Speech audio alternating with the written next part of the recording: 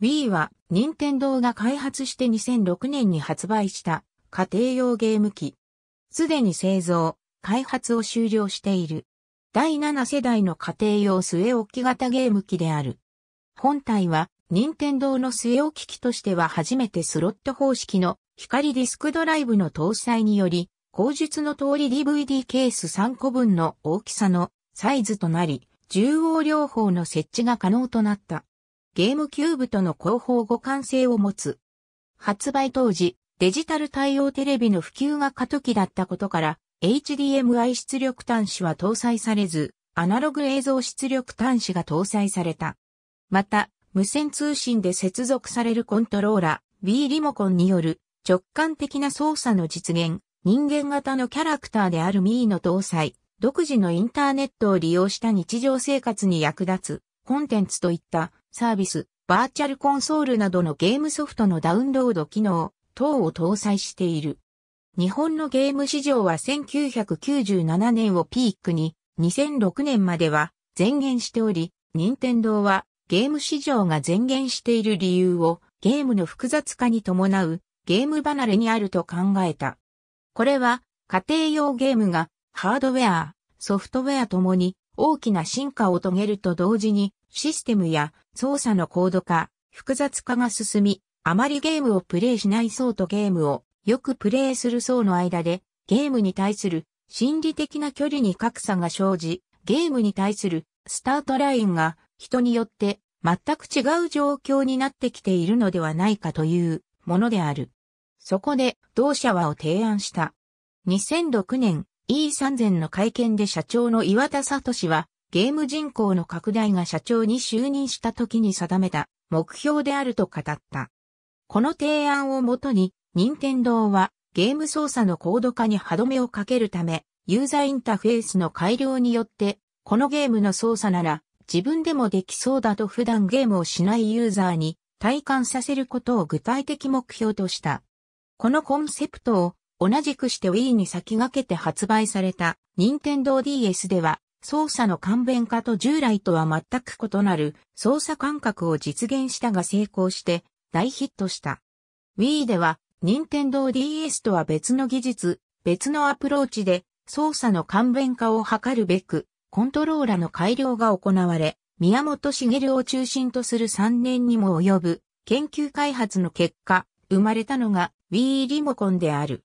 宮本茂はシダック2018で当時を振り返り、Wii 本体について DVD ケースに古文の大きさで作れと無茶ぶりされて猛烈に苦心した末に出来上がったものと語っている。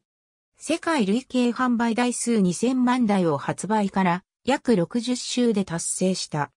日米欧での発売開始時期が機種によりそれぞれ異なるため単純比較はできないが、これは歴代の家庭用ゲーム機の販売記録、ゲームボーイアドバンス、任天堂 DS、任天堂スイッチ、プレイステーション2の中では最速である。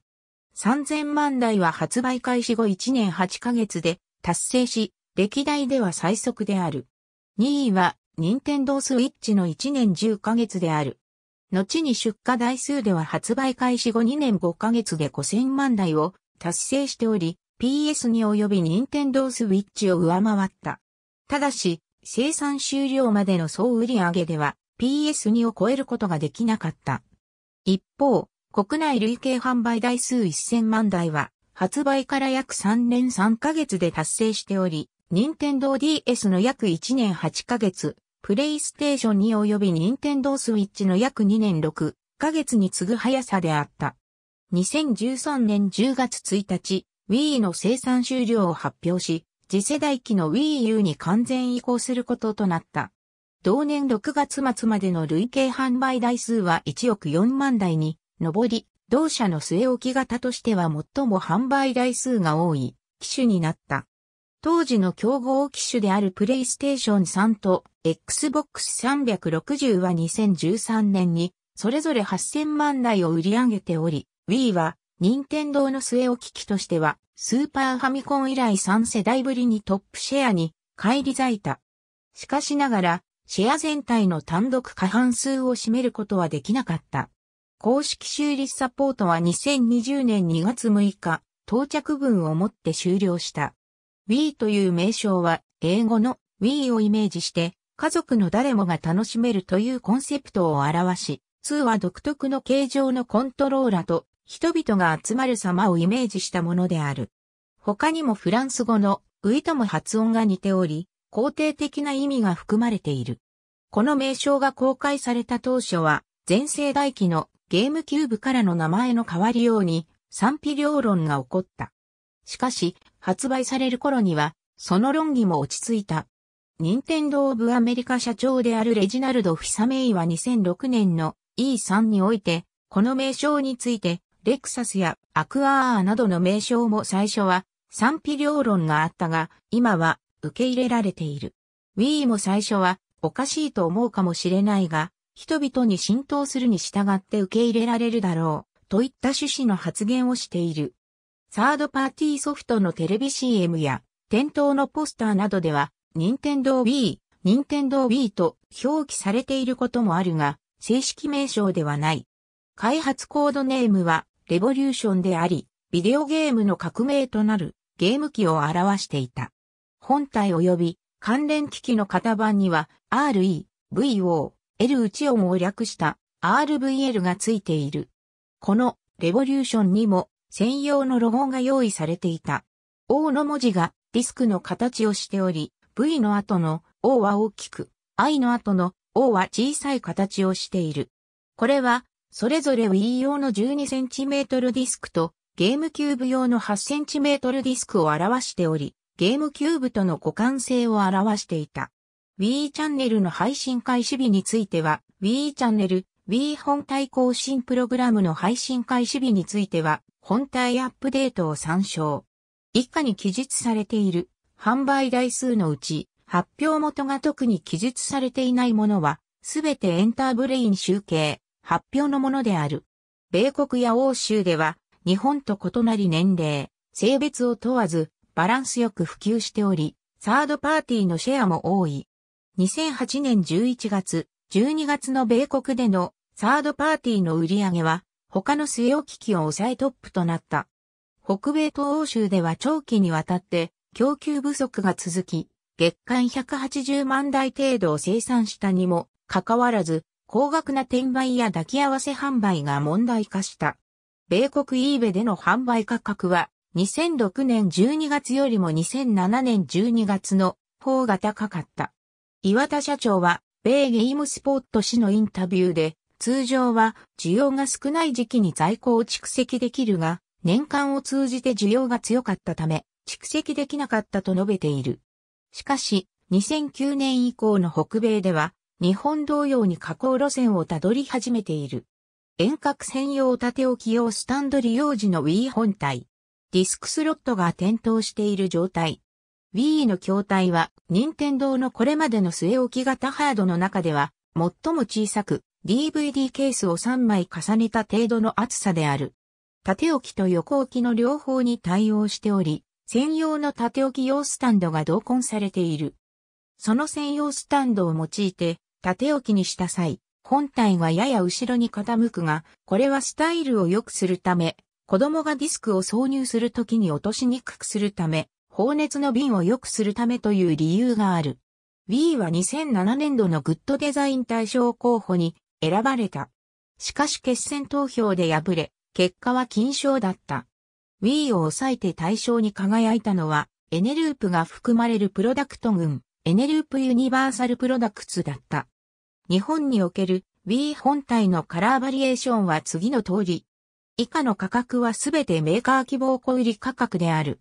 2005年にレボリューションの名で初めて発表された時は基本色が黒で、その他にも白、銀色、緑、赤といったカラーバリエーションが公表されていた。Wii 本体同梱版が発売されたソフトは以下の5タイトル。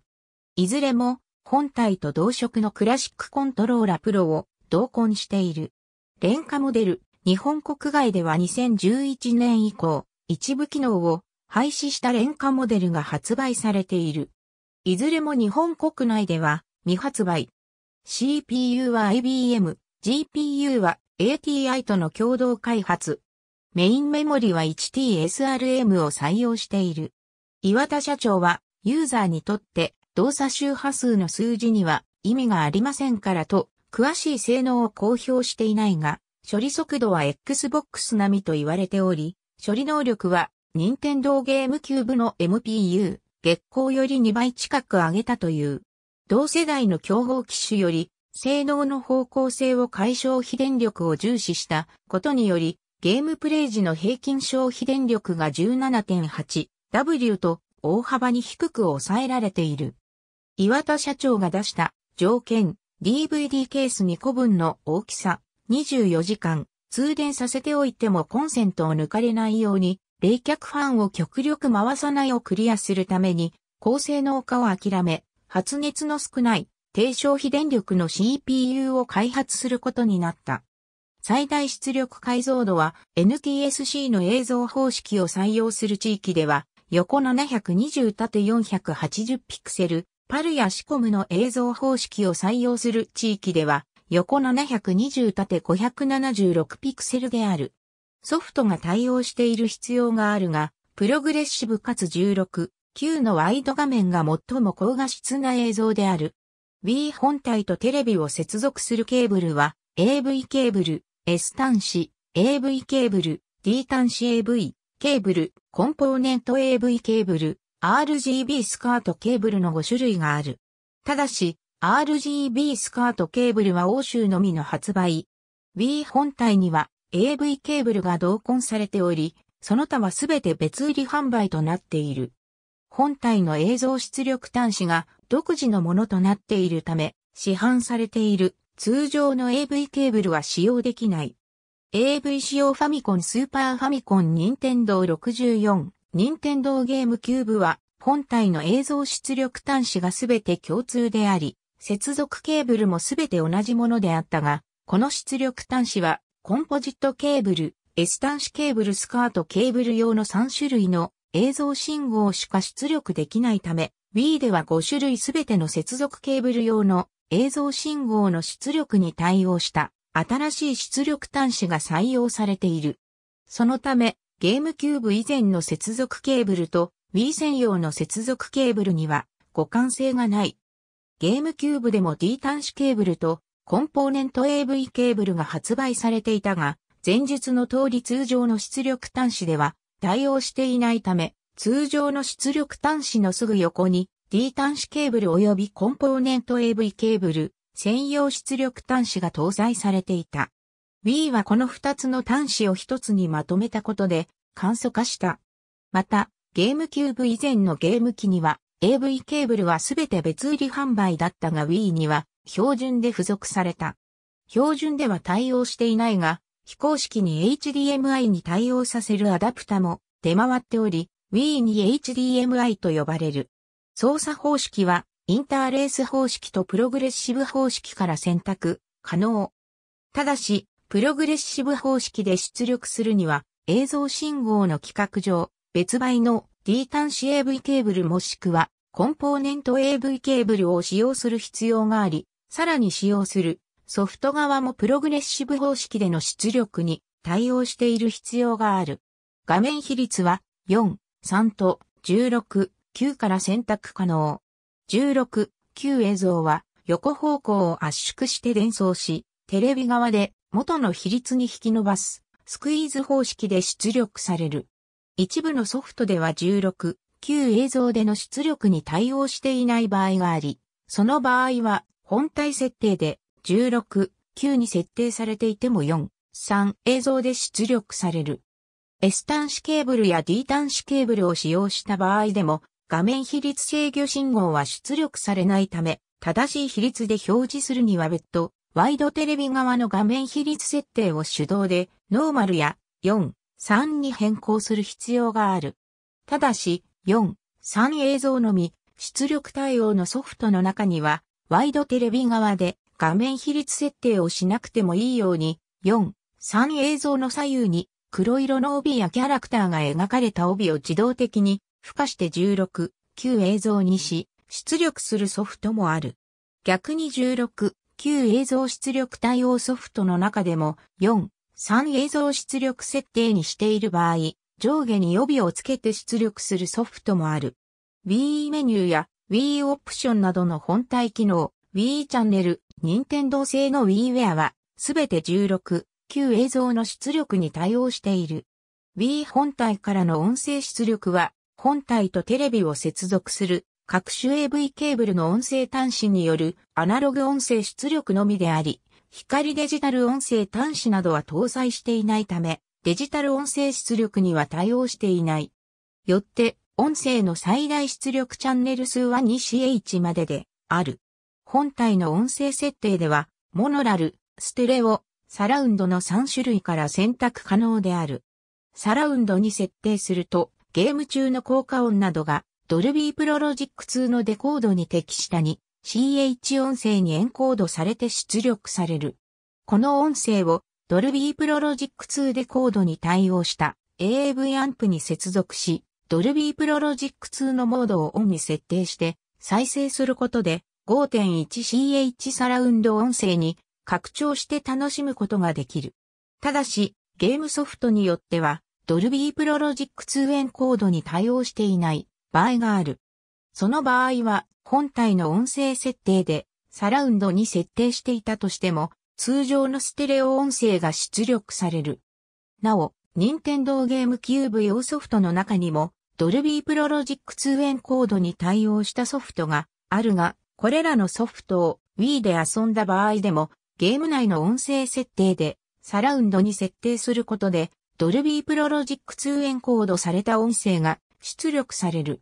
任天堂はドルビーラボラトリーズと契約を結び、Wii 用ゲームソフトでドルビープロロジック2を使用する許諾を受けている。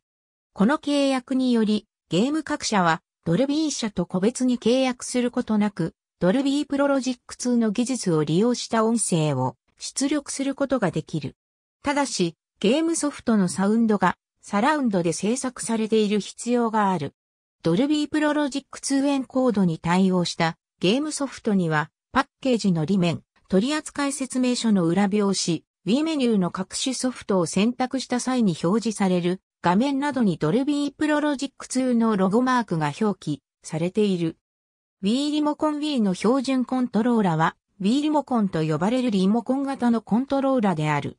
Wii リモコン以外にもヌンチャクやクラシックコントローラなどの Wii リモコンの外部、拡張コネクタに有線接続する拡張コントローラやバランス Wii ボードのような単体で動作するコントローラもある。また、Wii 本体上部に任天堂ゲームキューブコントローラポートがあり、GC 専用コントローラが使用できる。GC 専用ソフトをプレイする際に必要となるほか、すべてのバーチャルコンソール用ソフト、及び一部の Wii 専用ソフトで使用可能。ただし、バーチャルコンソールのソフトの場合は、振動機能には対応していない。GC コントローラポートに接続するコントローラとしては、ダンスダンジレベリューション Wii 専用コントローラ、ファミリートレーナー専用マットコントローラがある。GC ソフト用ディスクと Wii ソフト用ディスク Wii の対応メディアは Wii ソフト用 12cm 高ディスクと GC ソフト用 8cm 高ディスクである。それ以外のディスクの読み込みには対応していない。Wii ソフト用項、ディスク GC ソフト用項、ディスクともに DVD がベースとなっているが、記録方式が任天堂独自規格となっており、DVD とは異なる。Wii ソフト用高ディスクの容量は、1層式が 4.7GB、2層式が 8.51GB。2層式ディスクは、ディスクを読み取るレンズの汚れの影響を受けやすいため、場合によっては読み込み不良が発生することがある。GC ソフト用ディスクについての詳細は、任天堂ゲームキューブ概要を参照。2層式ディスクかどうかは、ディスクリ面の内周に刻まれた記号から判別できる。日本版ディスクの場合は RVLJ-0B-00 である。B 用ソフト GC 用ソフトともにリージョンコードが設定されており、ゲームソフトと本体のリージョンコードが一致しないと起動することができない。ディスクケース Wii のディスクケース。上が1枚組用、下が2枚組用。ディスクケースは GC では独自のものを使用していたが、Wii では多くの DVD ソフトやプレイステーションに Xbox ソフトで採用されているアマレー社製のトールケースを採用している。いくつかのソフトには2枚組用のケースが採用されているが、厚さは1枚組用のものと同じである。ケースのカラーリングは以下の3種類が存在する。従来のゲーム機ではソフトがロムカセット式のものはそのソフト自体にディスクメディア式のものは外部メモリにセーブデータが保存されるのが通例であったが、Wii では本体内蔵の容量が 512MB のフラッシュメモリに保存される。そのため、セーブデータの保存にメモリーカードなどの外部メモリを必要としない。ゲームのセーブデータだけでなく、ダウンロードした Wii チャンネルやバーチャルコンソール及び WiiWare のソフトの保存、Wii 伝言版に記録されたメッセージの保存、ネットワークサービス、WeConnect24 で受信したデータの保存などにも利用される。各データのサイズはブロックという単位で表示される。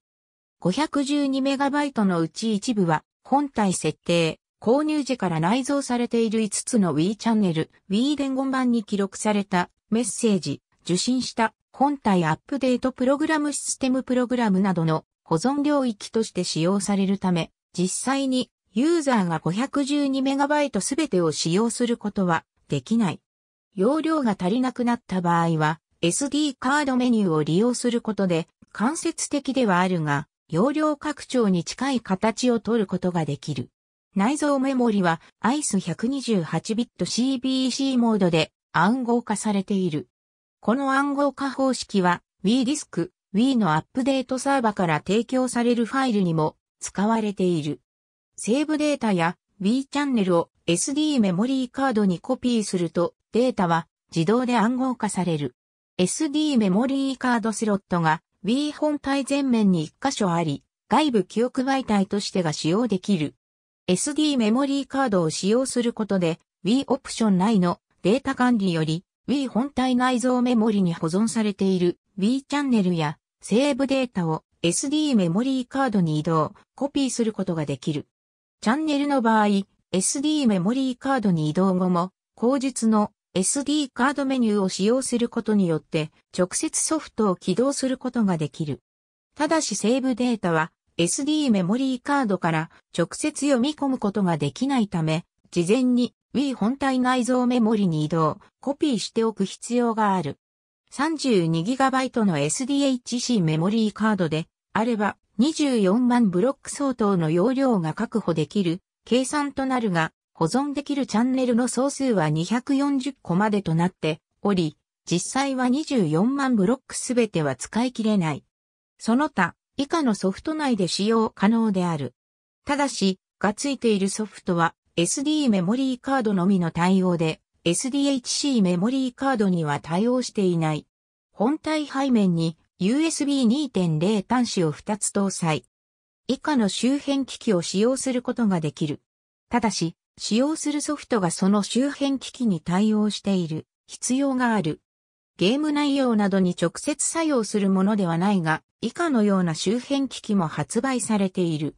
その他、公式ライセンスを受けたものではないが、本体の排熱効率を高める外部接続放熱ファンなど、純正品ではラインナップされていない種類の製品なども存在する。蒸気の周辺機器を同時に3種類以上使用する場合は USB 端子が不足するため市販の USB ハブが必要となる。B 本体より電源を供給するバスパワー方式も使用できるが、使用する周辺機器によっては電力不足となる場合もあるため、任天堂では AC アダプタを使用して電源を供給するセルフパワー方式の USB ハブの使用を推奨している。Bluetooth 2.0の無線モジュールを内蔵。Wii リモコンやバランス Wii ボードとの通信に利用されている。GC 用コントローラとメモリーカードを Wii に接続した状態ゲームキューブ専用ソフトのプレイ、任天堂ゲームキューブと互換性を持っており、GC のすべてのソフトをプレイすることができる。ただし、インターネット対応ソフト、ファンタシースターオンラインエピソード1 &2、ファンタシースターオンラインエピソード 1&2 プラス、ファンタシースターオンラインエピソード3カードレボリューション、ホームランドはオフラインモードでしか遊べない。非公認ソフトである GC 専用プロアクションリプレイはディスクを入れても読み込まれず使用することはできない。また、日本国外で発売されている廉価モデル Wii ファミリーエディションや Wii ミニでは GC 用コントローラ端子とメモリーカードスロットが廃され GC ソフトとの互換性はなくなっている。GC のソフトを遊ぶ際は別売の GC 専用コントローラを用いなければならず、Wii リモコンヌンチャク、クラシックコントローラなどの Wii 専用コントローラは使用できない。GC のソフトのセーブデータは GC 専用メモリーカードのみに保存が可能で Wii 本体内蔵フラッシュメモリや SD メモリーカードは利用できない。ゲームボーイプレイヤーは利用できないため、ゲームボーイ、ゲームボーイカラー、ゲームボーイアドバンスのソフトはプレイできない。ゲームキューブ用周辺機器との連動 GC のコントローラコネクタとメモリーカードスロットに接続する周辺機器は Wii でも使用することができる。ただし、ゲームボーイプレイヤーやブロードバンドアダプタなど GC 本体下部に取り付ける周辺機器は使用できない。任天堂ゲームキューブ周辺機器も参照。GC 専用コントローラは GC のソフトだけでなく、すべてのバーチャルコンソール用ソフト、及び一部の Wii 専用ソフトでも使用できる。ただし、バーチャルコンソールのソフトの場合は、振動機能には対応していない。Wii 専用ソフトと、そのソフトの前作のセーブデータが入った GC 専用メモリーカードの連動に対応したゲームソフトもある。ファイアーエムブレム暁の女神がその例である。なお、後継機である Wii U や日本国外で発売されている廉価モデルでは GC 用端子が配されているため Wii 用ソフトをプレイするときであっても GC 用端子に接続するコントローラは使用できない。任天堂 DS との連動任天堂 DS、任天堂 DS ライト任天堂、ダシー任天堂、ダシー LL や任天堂 3DS とピア2ピアで無線通信することができ、対応ソフトによっては様々な連動が可能となる。連動の内容と2009年9月現在の対応ソフトは次の通りである。Wii を起動すると Wii メニューが表示される。ここから様々なソフトや機能を起動する。Wii チャンネル Wii メニューには縦3横4の枠が表示され、Wii 本体内蔵メモリに保存されているソフトがその枠に表示される。このソフトのことを Wii では Wii チャンネルもしくはチャンネルと呼ぶ。Wii チャンネルは Wii ショッピングチャンネルを利用することで様々なものを追加することが可能である。Wii メニューには縦3横4のチャンネル枠が並ぶページが4ページまであり、合計48個までチャンネルを保存することができる。SD カードメニュー SD カードメニューは本体内蔵メモリを一時的に利用して SD メモリーカード内に保存されているチャンネルを間接的に起動するメニュー。2009年3月26日に開始された本体アップデートによって追加された。Wii メニューの左下に表示されている SD メモリーカードのアイコンを選択すると SD カードメニューの画面に切り替わる。SD カードメニューは Wii メニューと同様に縦3横4のチャンネル枠が表示されており、ソフトの起動も Wii メニューと同様の操作で実行することができる。SD カードメニュー内にはチャンネル枠が1ページにつき12個、全20ページあるため、計240個のソフトを保存することが可能で、Wii メニューと同様にソフトの配置替えも可能となっている。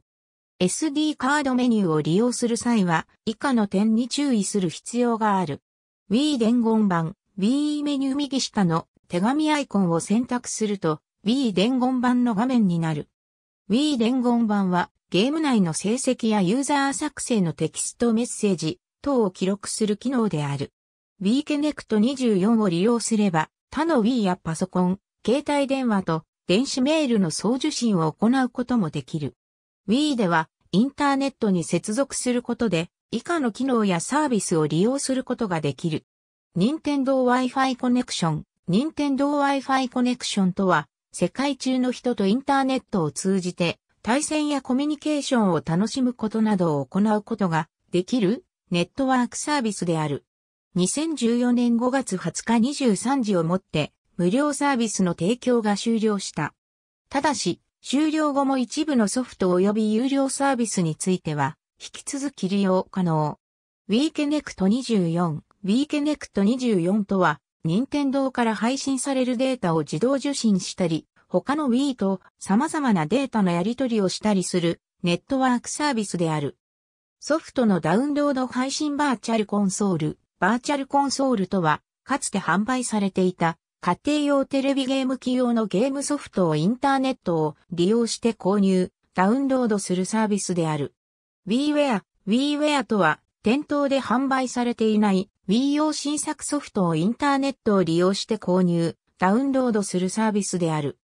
2008年3月25日にサービスが開始された。接続方法 Wii をインターネットに接続する方法は以下の3種類あり、各家庭の状況によって適切な接続方法を選択する。接続率向上のための施策2007年11月現在の日本国内における Wii のインターネット接続率は約40%であるが、まだ接続率向上の余地があるとして、任天堂は以下の施策を行っている。Wii 本体のシステムソフトウェアや内蔵ソフトウェアは、インターネットや Wii 専用ゲームディスクを利用してアップデートすることができる。アップデートをすることで機能が追加されたり、不具合が改善されたりする。ユーザーの年齢に応じて、特定のソフトのプレイ、バーチャルコンソール WiiWare 用ソフトのダウンロード、Wii ポイントの使用、一部の Wii チャンネルの利用などを制限する機能、ペアレンタルコントロールを搭載している。Wii のディスクソフトに関しては、各国のレーティング審査団体が制定する対象年齢に準じた設定が可能であり、日本ではセロの区分に対応している。一部の項目は Wii 本体をアップデートしないと利用できない。日本で発売されたソフトの一覧。値段はすべて税込み価格。日本以外における同時発売ソフトは英語版の該当項目を参照。同時発売ソフトの数は他のゲーム機と比較するとかなり多い部類に属する。Wii 以前に発売された任天堂ゲーム機の本体同時発売タイトルにはマリオが登場するソフトが必ずあるのが通例であった。しかし Wii ではこれを覆し、マリオが登場するタイトルは本体と同時には発売されなかった。任天堂 DS など過去の任天堂ハードと同時発売ソフト数を比較すると、任天堂ソフトの占める割合が比較的低く、任天堂以外の各ソフトメーカーの注目度も高いことが伺える。突起がないものは任天堂から発売。記述されている価格はすべて日本におけるメーカー、希望小売価格である。この他に一部の任天堂ゲームキューブ用周辺機器も使用可能。Wii の所有ユーザー層は10代前半以下と30代40代のいわゆるファミリー層の所有率が高く男女比もほぼ1、1である。これは Wii スポーツや Wii Fit などのファミリー向けソフトの大ヒットが大きな要因となっている。しかし、その反面、従来的ゲーマーの主流である10代後半20代が相対的に少ないため、いわゆるコア向けソフトは、任天堂のものも含めて伸び悩んだ。岩田社長は2009年の段階で、このような偏ったユーザー層を期待通りに進まなかった形であるとしており、Wii U 発表後にも Wii がすべてのゲーマーのニーズに応えられたわけではなかった。任天堂としてはコア向けソフトもかなり取り組んだはずだったが、結局は PS3 と Xbox 360はコア向け、Wii はカジュアル向けという認識が定着してしまった。Wii U ではただ広いだけでなく、より深いユーザーも狙っていきたいと語っている。また、ユーザーのうち約87%が Wii をリビングルームに設置している。しかし、それゆえに一人用のアクションや RPG といったリビングに合わないソフトが成功しにくいと指摘する声もある。一方、岩田社長はリビングにゲーム機を置いたばかりにテレビ放送との両立が難しくなり、その結果ゲーム機で遊ぶ時間が制限されるという問題が起きてしまったと、リビングにゲーム機を置くことの短所について別の観点から指摘しており、それを解決に導いたのが Wii U ゲインパドだという。日本における発売前の Wii 本体関連のテレビ CM は最初の CM で Wii 本体ではなく Wii リモコンを見せながら、これは何でしょう？と問いかけて消費者に疑問を持たせておき、その後詳細を明らかにするテレビ CM を流していくティザー広告の手法を使用していた。全般的に家族がプレイする姿を映すタイプの CM が多いのが特徴。似顔絵チャンネル編で、明石家さんまと松岡修造が出演して、以降、芸能人がプレイする姿を映す CM も多い。ナレーションは、お天気チャンネル編まで中井真二が担当していたが健康上の理由のため、ショッピングチャンネル編より、久保田仁が担当している。2010年1月以前に公開された CM はすべて SD 画質で制作されていたが、2010年2月に公開された斬撃のレジンリーブの CM 以降は HD 画質で制作されている。ただし Wii は HD 画質の映像の出力には対応していないため CM 内のゲーム画面の部分は SD 画質からアップコンバートされた映像となっている。Wii は CD や DVD 再生には対応していない。ただし、ドライブ自体は CD や DVD の読み込みが可能な仕様となっている。当初は専用のアタッチメントを取り付けることで再生を可能にする予定だったが、2006年11月14日にアメリカのソニックソリューションズ社が Wii の将来バージョンにソフトウェアベースの DVD ビデオ再生エンジンであるソニックシナプレイヤー CDVD ナビガートが採用されるとニュースリリースで発表。その後、任天堂より正式に DVD ビデオ視聴機能が追加されるモデルの登場が発表された。当初、2007年後半のリリースを予定していたが、2007年11月に公式ページにて世界的な品薄状態の影響で1機種に絞って生産効率を上げるため発売を延期すると発表された。しかし、品薄状態が解消された後も結局発売されることはなかった。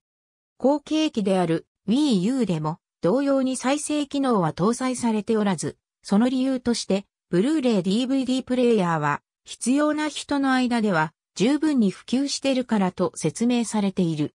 Wii が発売して間もなく、Wii リモコンに取り付けてある専用ストラップがプレイ中に切れてテレビなどを破壊する事故が発生したため、任天堂は2006年12月15日に交換対象の専用ストラップをリコールすると発表した。交換対象のストラップは2006年12月上旬までに出荷された約320万個で製造番号が LJH1 億41万9980以前と LJF1 億303万2000以前の Wii 本体同梱の Wii リモコン、初めての Wii 付属の Wii リモコン、別売の Wii リモコンに取り付けてある。Wii リモコンとストラップとの接合に使われている。紐の太さが 0.6mm の専用ストラップ。交換後の専用ストラップ及び現在出荷されている。専用ストラップは、紐の太さが 1.0mm のものとなっている。交換の申し込みは、専用の電話窓口か専用ホームページで行うことができる。この公式発表後、Wii リモコンを激しく振っている映像が含まれる Wii スポーツ及びゼルダの伝説トワイライトプリンセスの CM の放送を中止し、公式ページの CM ギャラリーからもこれらの CM を削除して軽く振って遊ぶ、要注意する CM に差し替えた。事故の再発防止のため任天堂では以下の点を呼びかけている。SD カードメニューが実装される前の Wii は容量が 512MB しかない内蔵フラッシュメモリのうち一部をチャンネルやセーブデータの保存に割り当てるしかなかったため、任天堂64や PC エンジンの CD-ROM、スーパー CD-ROM、ネオジオといった大容量のバーチャルコンソール用ソフトや WiiWare 用ソフト、Wii チャンネルを複数ダウンロードするとかなり早い段階で容量が足りなくなっていた。SD カードメニューの実装は、口述のようにユーザーからの不満を反映してのことである。遠隔 ABCB 本体のファームウェア、バージョン 4.0J 以降対応、AB 参考として PS には2年10ヶ月で達成している。ただしこれは生産出荷台数による数字となっている。ポケモンバトルレボリューションや、はじめの一歩レボリューション等、日本以外では、ナルト、クラッシュオブ忍者、レボリューションといった、レボリューションという言葉がつくゲームも存在する。同日に、大阪南港 ATC ホールで、ゲームズジャパンフェスタ2006 in 大阪が開催され、ここでも少数ながら Wii が展示された。パンドラの塔 君のもとへ帰るまで、ファミリーフィッシング、星のカービー Wii、ゴーバケーション、ジャストダンス Wii、戦国バサラ3 宴、ゼルダの伝説、スカイワードソード等。なお、いずれも現在では、ゴールドランク以下に下がっている。非売品ソフトを含めれば、2015年4月2日に発売された Wii U 版ロデアザスカイソルジャーに付属した天空の騎士ロデアガール。バーチャルコンソールと WiiWare のタイトル数は含まない。また、その他地域については2012年度からは欧州のみの記載。厳密には、初めて黒ケースが採用されたのは2月10日発売のマッドワールドが最初であり、1月14日に発売されたバイオハザードダークサイドクロニクルズは白ケースに黒いスリーブを被せる形で売られている。暗号鍵は難度メモリの暗号化に使われる難度キー、Wii ディスクなどに使われるコモンキー、SD カードにコピーしたセーブデータやチャンネルに対して使われるスティブ及び ST キーなどがある。呼び方はネットで広く使われているもの。ABCSD、メモリーカードのサイズに変換するアダプタが別途、必要一部のセーブデータは制限によりコピーできない。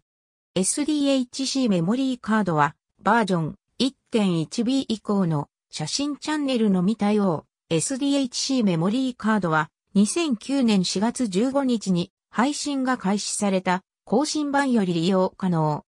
ポケモンボックスルビーサファイアにロムイメージが格納されているゲームボーイアドバンスソフト、ポケットモンスタールビーサファイアは例外。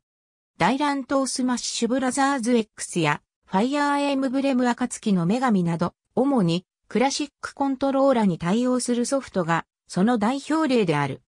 2008年11月5日に配信が開始された、みんなのポケモン牧場プラチナ対応版より対応。これとは別に任天堂 3DS のミースタジオにも対応している。